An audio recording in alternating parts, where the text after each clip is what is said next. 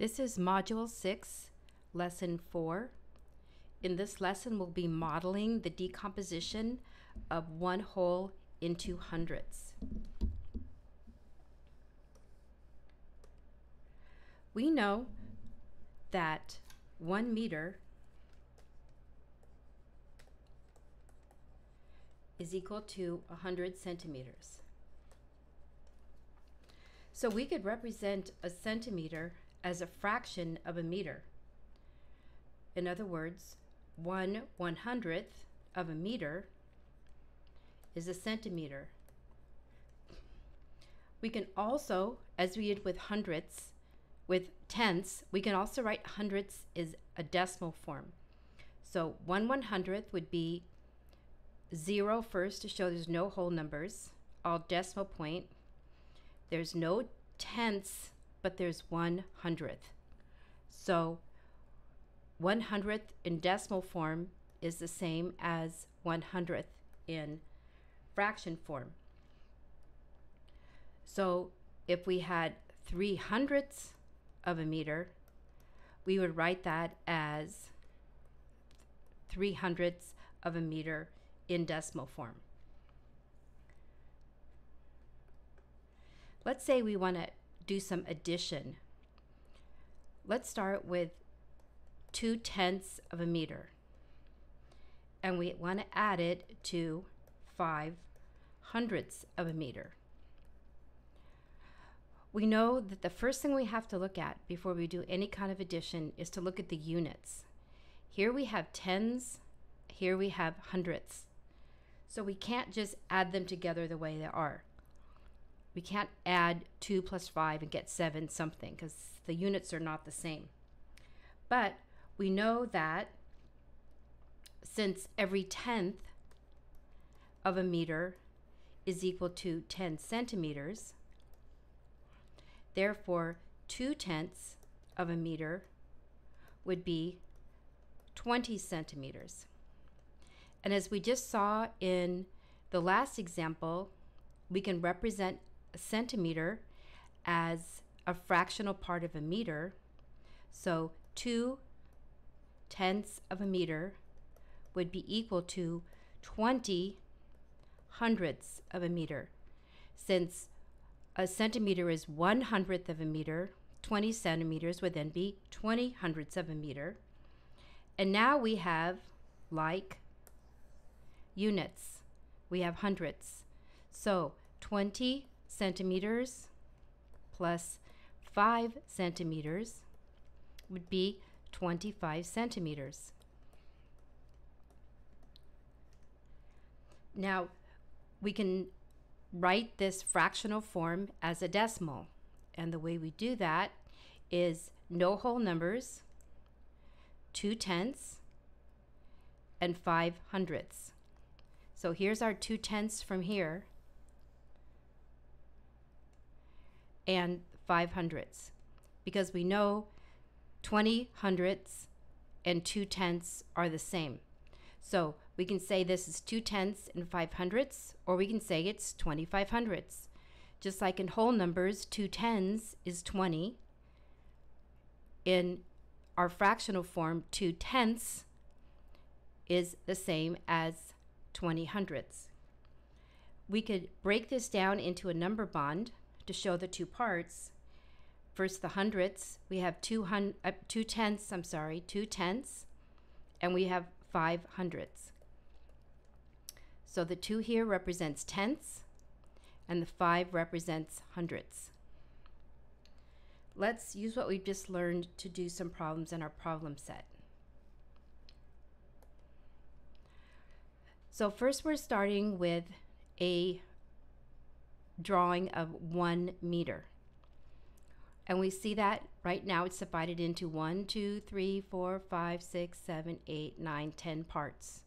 So this area that's shaded would be one tenth of a meter.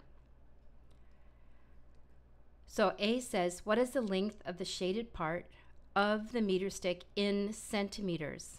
So one tenth of a meter in centimeters would be 10 centimeters. Since a tenth of a meter is 10, and 10 times 10 is 100. Pause the video and try B. What fraction of a meter is one centimeter? So one centimeter is one hundredth of a meter. Now for C, that tenth has now been divided into 10 pieces. So each of these little pieces represents a centimeter. So this one tenth has been divided into tenths. So now they represent hundredths. Each, each little part represents one one hundredth. So in fraction form, the length of the shaded part of the meter stick would be 10 hundredths. You try D. So in decimal form, the length of the shaded portion would be the decimal equivalent of this. So it's no whole number. The decimal point to show that we're talking about decimals and it's one tenth, or we could say 10 hundredths.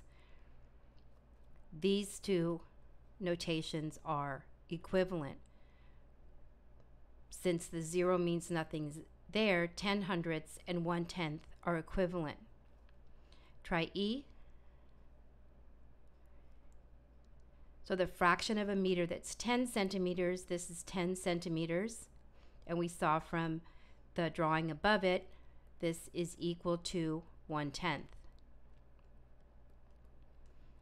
Okay, try number two on your own.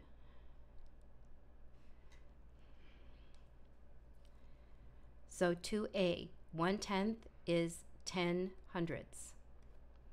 So written in fraction form, 1 tenth equals 10 hundredths, and 2 tenths equals 20 hundredths.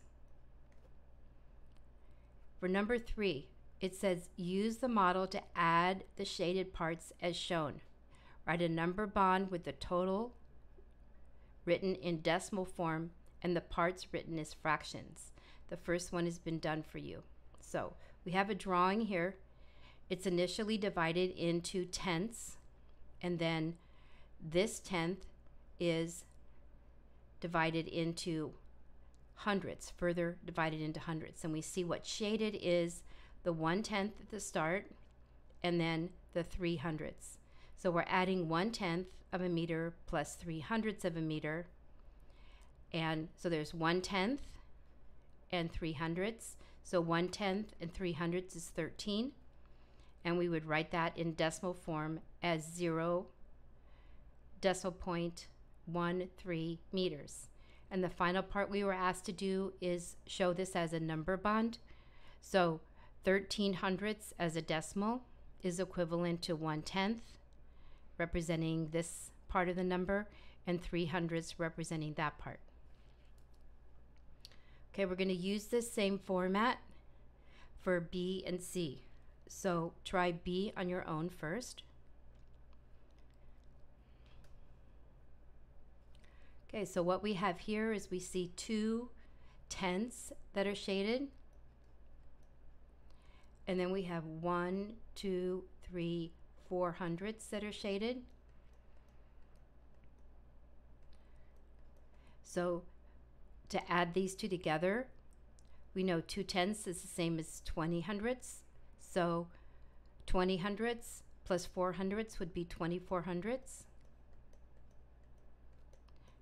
and we'd write that in decimal form as 24 hundredths. And then as the number bond, this would be 2 tenths and 4 hundredths. Okay, try C.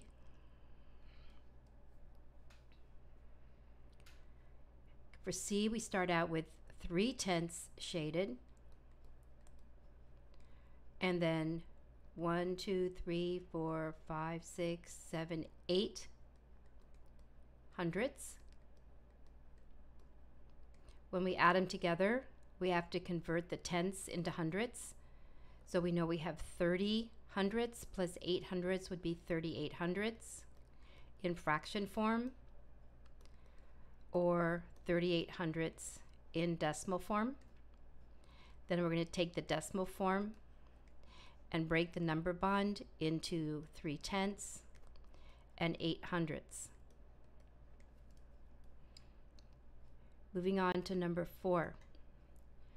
This tells us on each meter stick to shade the amount shown and then write the equivalent decimal. So try A. So for A we have 8 tenths. So we're going to shade in 8 tenths. And we'd write 8 tenths as a decimal this way. Try B. So for B, we need to divide this first tenth into hundredths.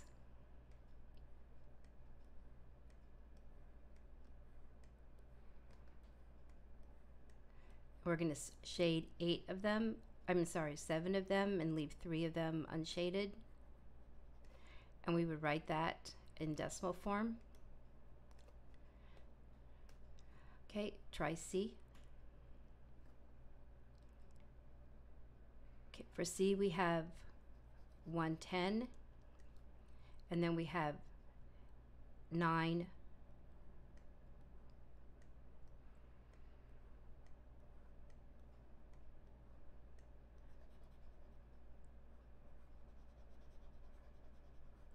nine hundredths.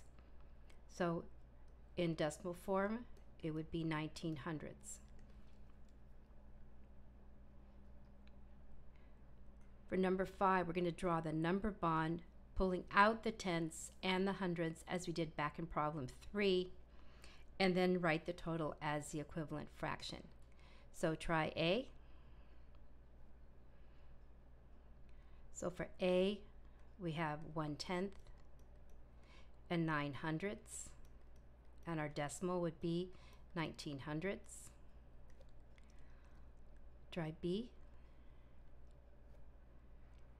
For B, we have 2 tenths and 8 hundredths.